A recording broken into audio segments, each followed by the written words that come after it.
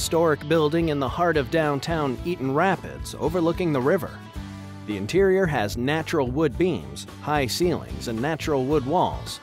The large bay window looks onto Main Street and gives your business unmatched exposure.